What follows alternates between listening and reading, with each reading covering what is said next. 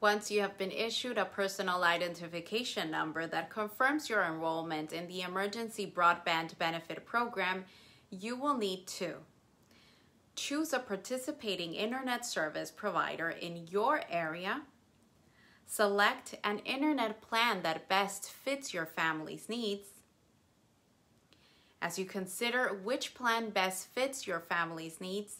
it is important to remember that the emergency broadband benefit is currently only offered as a temporary program and will end when the fund runs out of money or six months after the Department of Health and Human Services declares an end to the COVID 19 health emergency, whichever is sooner.